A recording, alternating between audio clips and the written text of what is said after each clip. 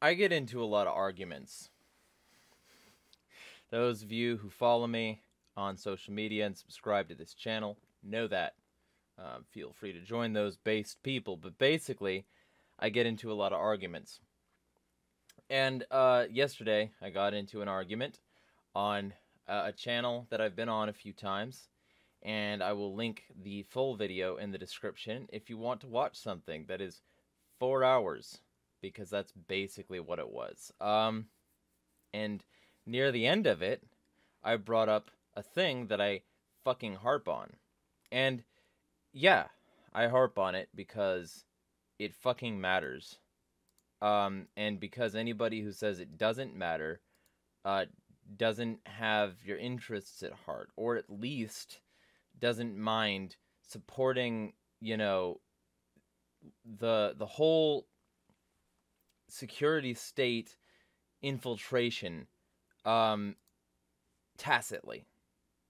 You know, like I'm not talking about you know, active rah rah we need this support, but like, you know, the quiet support that doesn't say anything while bad shit happens or tries to downplay it and says, "Oh, that'll never work." That'll that'll we've already won. The people are gonna fight. Um, no, they're not gonna fight, and they're already not fighting. And because I wasn't like fully prepared for that argument, um, like I I didn't have this on hand, so I actually like forgot what it was. But uh, activist post reminded me. Like I, I saw this like a week ago, and I was very upset because this is basically just confirming everything I've been saying for years.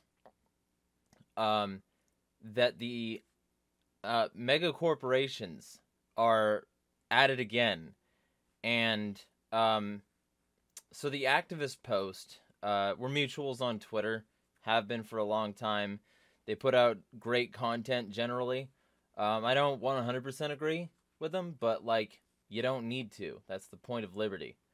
And um, ultimately, this uh, post that they posted reminded me to uh, talk about the Fido Alliance. Fido, like a good boy. That's what they that's what they want you to think of. Fido. Um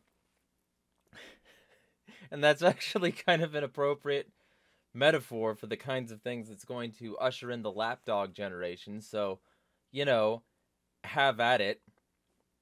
Um the thing that I'm talking about today is what the Fido Alliance is and what it does.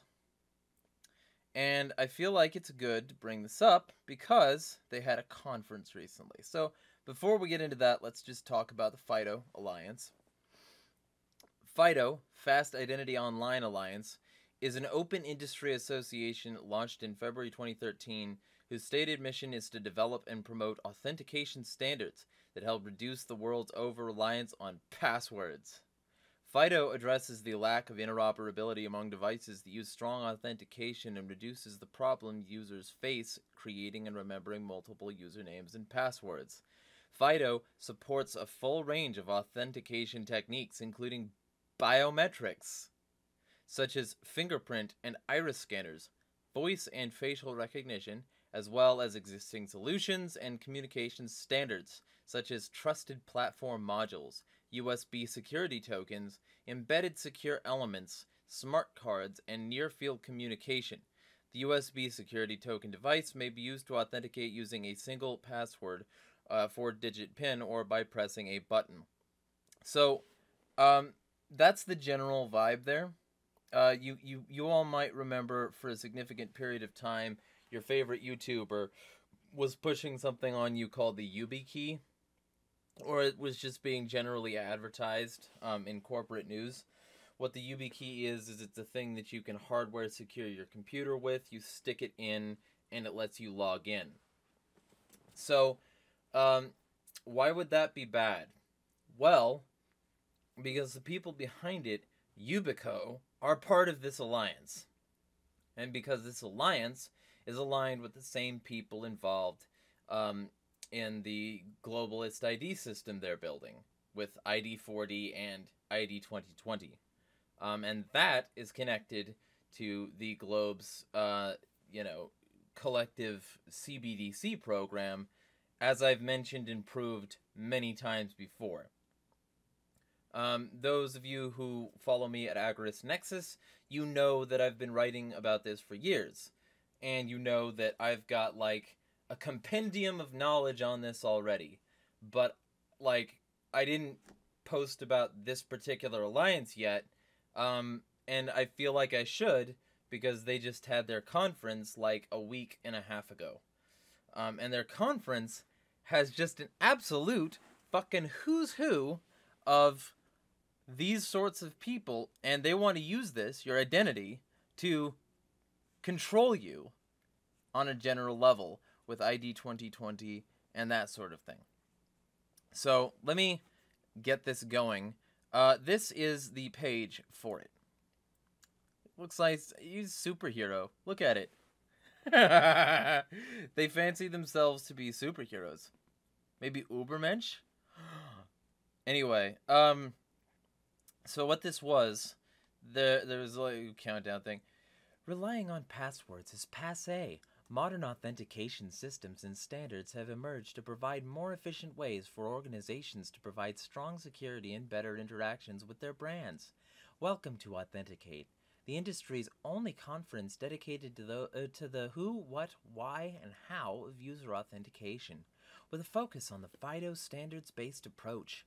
Authenticate hosted by the FIDO uh, Alliance, is the place for CISOs, security strategists, enterprise architects, and product and business leaders to get all of the education tools and best practices to roll out modern authentication across web, enterprise, and government applications. Authenticate 2021 featured detailed case studies, technical tutorials, and expert expert panels, all helping educate attendees on business drivers, technical considerations, and overall best practices for deploying modern authentication systems. The 2022 event will again focus on providing excellent content, a dynamic expo hall, and other networking opportunities. After years of increasingly severe data breaches and user login frustration, now is the time to embrace a new way to authenticate. Join us at Authenticate 2022 and come away with the tools to move past passwords. Isn't that nice? And it's a veritable who's who of um of a bunch of different people who are already affiliated with this globalist financial system. Microsoft, MasterCard, Fido, Yubico, um, Axiad, fucking Visa, you're noticing probably a pattern. Avast antivirus, uh, Microsoft, more Yubico, Google, uh, Amazon, um, you know, Amazon Cognito, JP Morgan Chase, who, you know, has just demonstrated their willingness to, you know, censor people. I'm not saying, by the way, just to get that out of the way, that I agree with the people like that they censored recently. Um, but it's it should be concerning when all these are connected. AWS identity, so more Amazon services. Um, fucking Google obviously is connected to all of this. Um, and Google is affiliated with the NSA and DoD through their programs that actually started the joint. Um, there's more Google. There's more NIST. So NIST was the the people who had that report that they kept classified um, because it would jeopardize public safety to know how towers could be potentially knocked down by planes, allegedly. Um, Salesforce, uh, fucking KnowBe4, uh, fucking, uh, who's who? More from the FIDO Alliance, more from Yubico, more from Microsoft. The Open ID Foundation, that is directly affiliated and supported by ID 2020 Alliance, and so are many of these other people. And, you know, it's valuable to bring this up because these people are at the helm of a significant Rakuten, you know, e-commerce, Cloudflare, uh, fucking Target. Like, just if you have a product, you know, if you have a fucking online service, these people are affiliated with it.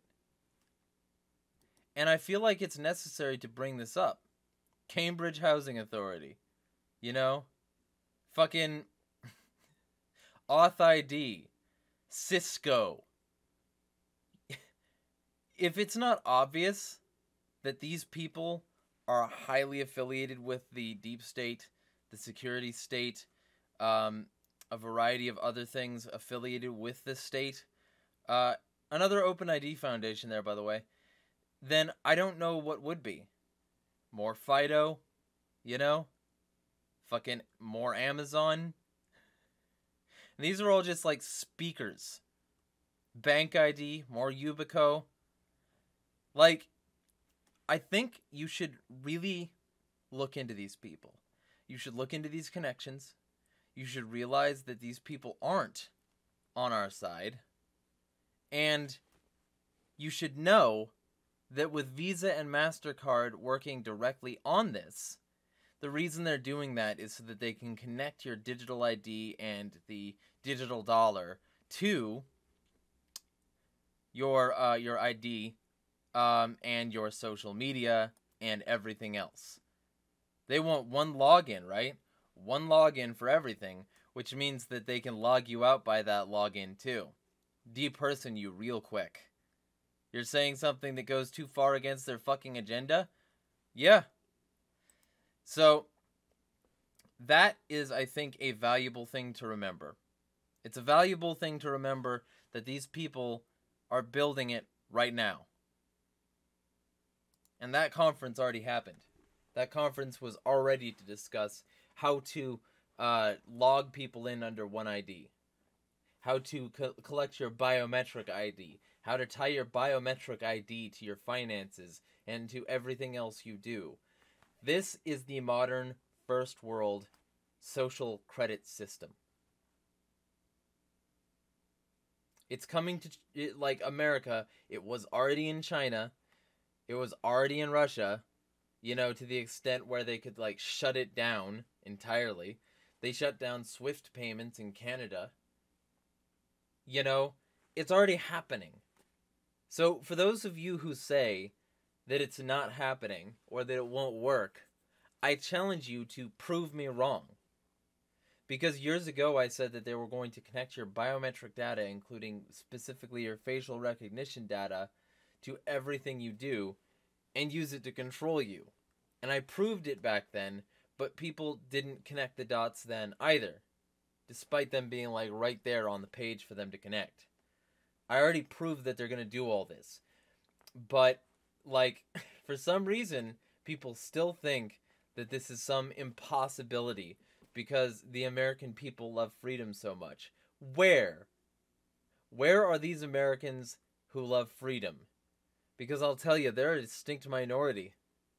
They are a distinct minority who actually value freedom. And and if you disagree with that, I don't know what planet you're living on. Because these people will accept this dystopia with stimulus money. The, the, the state broke a significant portion of the economy and threw a lot of people out of their homes and fucked up a lot of people's health care and made it so that a lot of people couldn't feed their kids and just a wide variety of other things.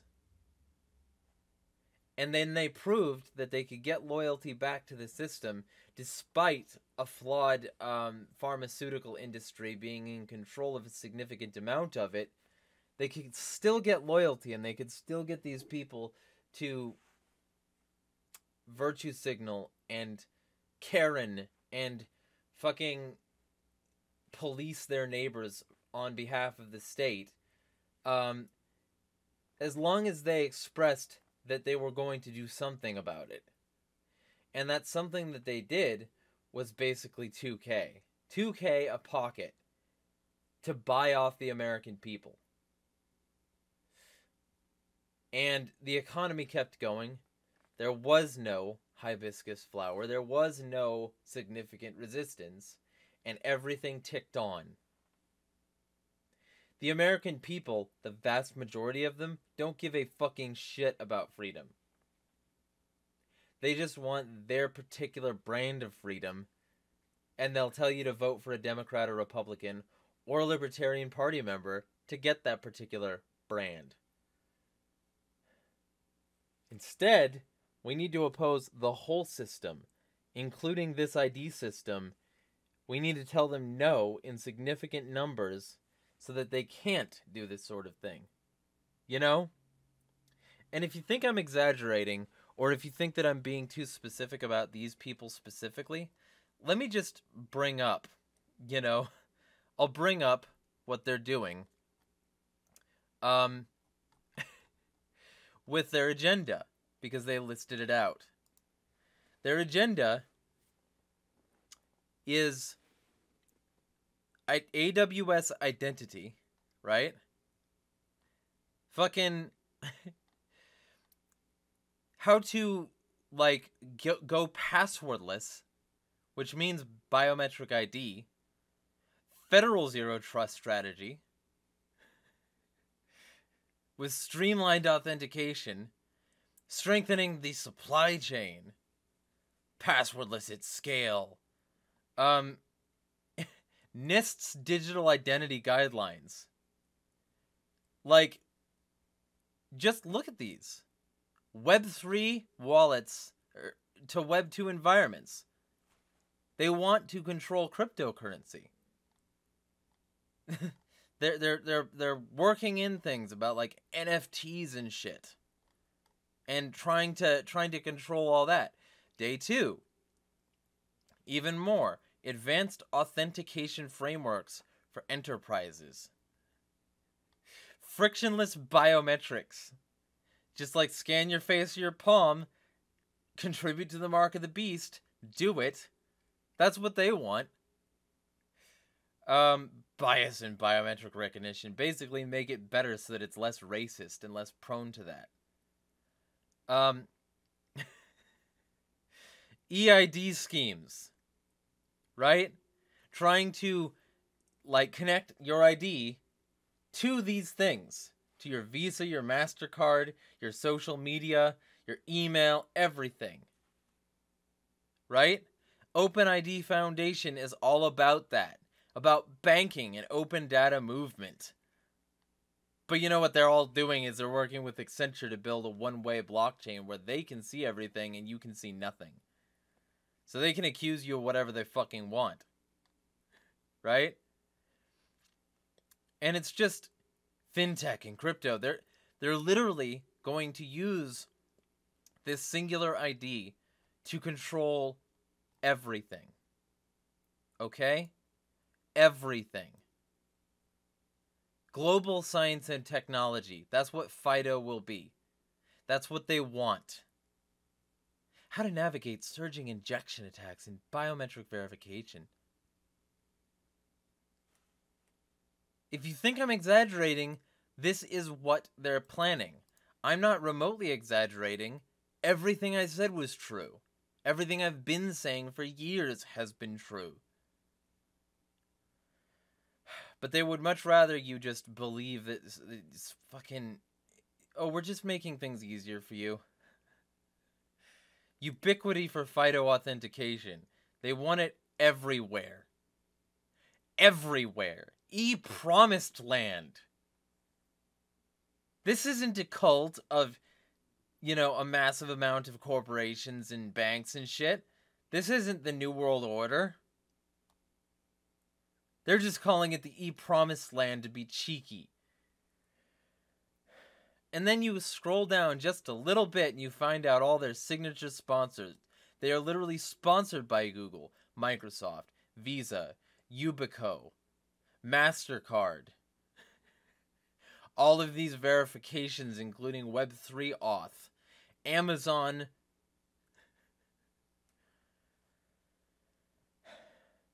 I'm just LastPass is is is such a fucking insidious thing because they came in and they got like they sponsored like a ton of YouTubers. They said, "Hey, come here. You know, give us all of your passwords and we'll just let you sign into everything with one." And people were like, "Yeah, I don't want to I don't want to put in a password for everything." So they just did it. And then this eventually results in use your face or your palm or something to fucking sign into everything. To buy things. To interact with not only Web 3 and 2.0, but the whole fucking world, including MeatSpace. When you buy things in MeatSpace, you will be buying them this way. And you will eventually not be able to buy or sell without their fucking money that they're building right now. The Digital Dollar Project is literally the mark of the beast. But feel free to keep not believing me. Feel free to claim that it's not going to work. Feel free to continue throwing billions of dollars at politicians this midterm, like the 9.3 billion that's projected to be fucking spent on fucking electoral politics for the midterm alone. Feel free to keep doing all that and proving proving that these issues don't mean shit to you. Or at least that you're willing to turn a blind eye to the problem areas.